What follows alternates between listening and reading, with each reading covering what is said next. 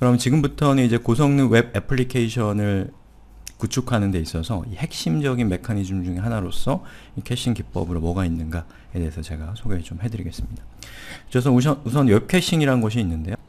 자, 웹 caching이라고 하는 것은 제가 앞서서 말씀을 드린 것처럼 한 번 다운로드 받은 resource는 이 임시 저장소에 저장을 했다가 하드디스크 같은 다음에 요청이 있을 때는 네트워크를 통하지 않고 거기에 있는 것을 이 가져오는 걸 통해서 빠르게 이 반응하고 또 서버 쪽의 부담을 경감시킬 수 있는 그런 기법이 웹 caching입니다. 그래서 이 웹 caching을 여러분이 잘 사용을 하기 위해서는 서버 쪽에서 그 resource, 이를테면 이미지나 JavaScript나 CSS와 같은 잘 경신, 갱신되지 않는 정보들에 대해서 적절한 TTL 타임을 걸어주게 되면 그 TTL 타임에 따라서 브라우저가 그 정보를 caching을 하게 되는 겁니다. 그것에 대한 설명은 여기 있는 링크들을 참조하시면 되겠어요. 자, 그다음에 HTTP reverse proxy cache라고 하는 것이 있는데요. 요거는 일종의 솔루션을 이용을 하는 겁니다. 그래서 이 인터넷이 이렇게 있으면 예, 여기 웹서버가 있어요. 그럼 클라이언트가 그 웹서버로 이렇게 접근을 하는 거죠.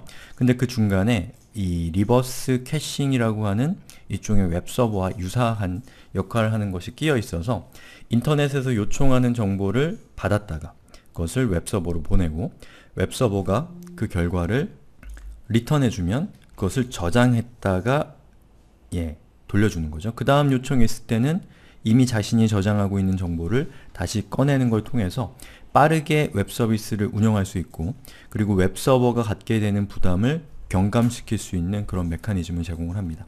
위키피디아 같은 경우는 사용자가 로그인을 하지 않는 경우에는 이 모든 웹페이지에 대해서 caching을, caching을 만들어서 제공을 하고 만약에 사용자가 로그인을 하는 경우에만 이제 이 proxy caching이라는 것을 거치지 않고 direct로 웹서버로 접속을 해서 그것을 클라이언트에게 전달하는 기법을 쓰고 있다고 하더라고요. 자 그래서 여기 있는 이 링크들을 타고 들어가시면 이 웹서버들이 제공하는 리버시, reverse proxy, proxy 이 caching 기법들에 대한 이 정보를 여러분들이 얻을 수가 있고요.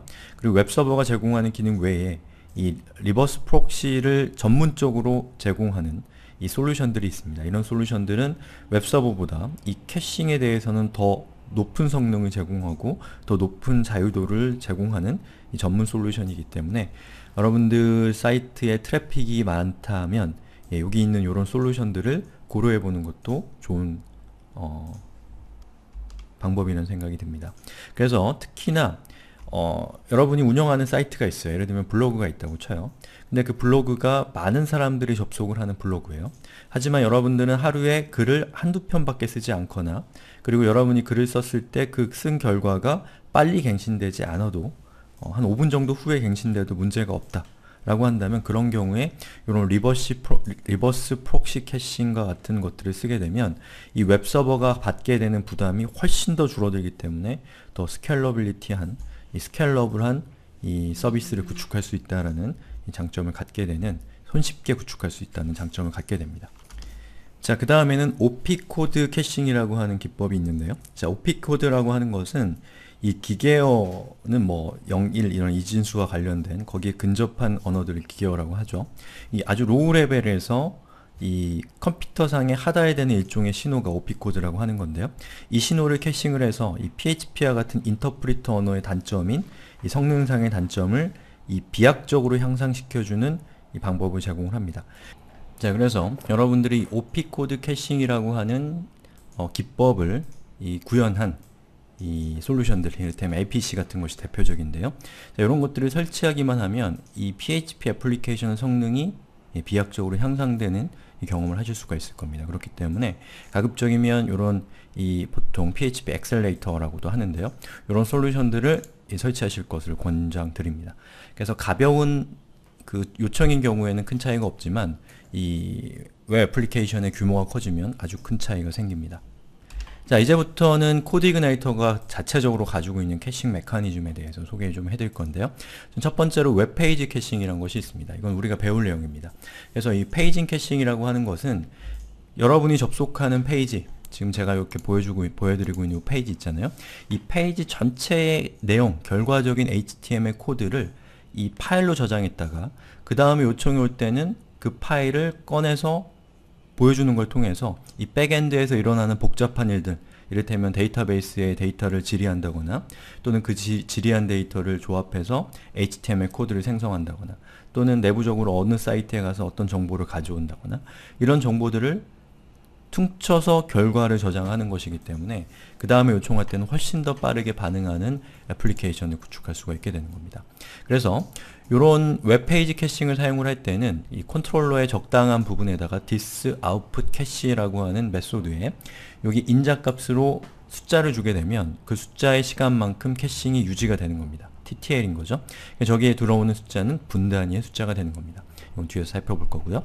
그리고 partial caching이라고 하는 것은 이 부분 caching이라고 볼 수가 있습니다. 그래서 웹페이지 caching이 퉁쳐서 결과적인 페이지를 저장을 하는 것이라면 이 partial caching이라고 하는 것은 여러분이 사용하는 데이터 단위로 결과를 저장했다가 그 다음에 동일한 요청이 있을 때 그것을 가져오는 걸 통해서 애플리케이션의 반응 속도를 높여서 사용자의 어, 경험을 향상시키는 그런 caching 기법이라고 할 수가 있습니다. 그래서 이 caching을 사용하는 방법은 제가 뒤에서 다시 한번 자세하게 소개를 드리겠습니다. 자, 그러면 데이터 캐시, 데이터베이스 caching이라는 것이 있는데요. 이거는 우리가 살펴보지는 않을 건데 제가 간단하게 소개를 드리면 이 데이터베이스는 query를 하죠. 뭐 예를 들면 select 별표 from topic 뭐 이런 식으로 바로 그 쿼리에 대한 결과를 저장했다가 파일로 보통 저장을 합니다.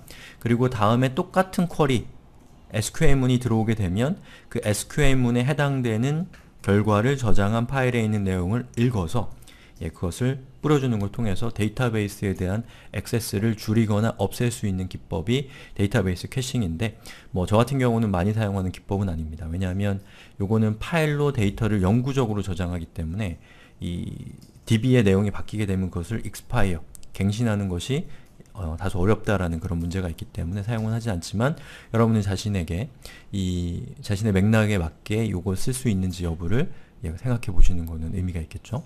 자 그러면 이 caching을 어디에 저장할 것인가에 대한 얘기까지 하고 이번 동영상을 끝낼 건데요.